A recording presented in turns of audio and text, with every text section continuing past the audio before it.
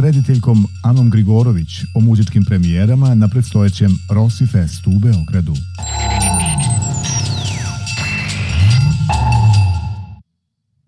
Gost kulturnog dnevnika je Ana Grigorović povodom moratorijuma Ester, čiju režiju potpisuje u okviru ovogodišnjeg Rossi Festa, međunarodnog događaja posvećenog jevrejskoj tradiciji koji počinje 27. januara. Dobroveče i dobrodošli u Kulturni dnevnik. Dobroveče, hvala na pozivu. Rossi Fest krajem januara tradicionalno otvara festivalsku godinu umetničke muzike, pa da li je i njegov programski ritam uobičajen sa delima mladih kompozitora, tematskim predavanjima, radionicama?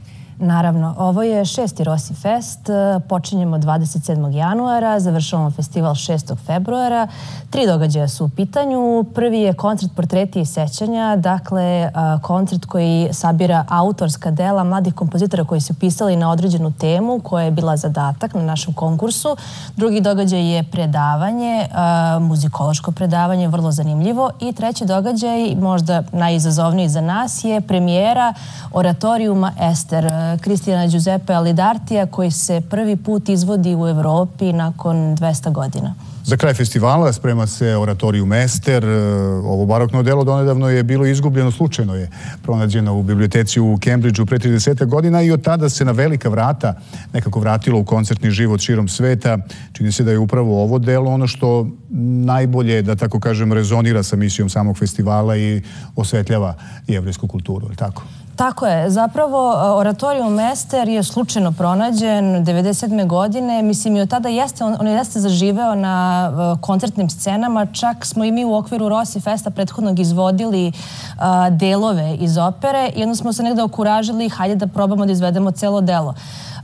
Taj oratorijum zapravo prati legendu o Ester iz knjige o Ester koja je zapravo neka vrsta objašnjenja zašto se slavi Purim. Dakle, to je jedna vrsta stradanja jednskog naroda koja je sprečena upravo dovitljivošću jedne žene, Ester. Oratorijum je kompleksno delo religiozne tematike, bez scenske radnje i kostima, pa koje je opravdanje, koje je vaše opravdanje da promenite malo ovu istorijsku i muzičku konvenciju? Pa, znate kako, mislim, moratorijumi su prvenstveno izvođeni po crkvama i oni imaju negde, kako bi rekla, tematiku koja se bavi biblijskim događajima i drugim religioznim događajima. E sad ono što smo mi uradili, uh, prosto zato što ga izvodimo i u Narodnom pozorištu u Beogradu 6. februara, ja sam negde imala potrebu, jer kao i sve što izvodite na sceni, ono mora imati neku priču. Ta priča već postoji, to jeste legenda o Ester. U saradnju stenografkinje Dunje Kosti Bradić i kostimografkinje Sare Bradić, naravno uz e, Stefana Zekića koji diriguje celom operom.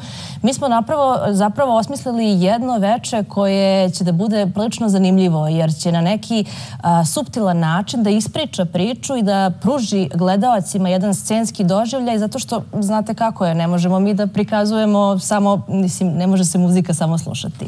Ja verujem da se čak i kad je u pitanju oratorijum, ona mora gledati. Već dve godine Rossi Fest ima i svoju letnju varijantu, pa da li će tako biti i ove godine? A, biće.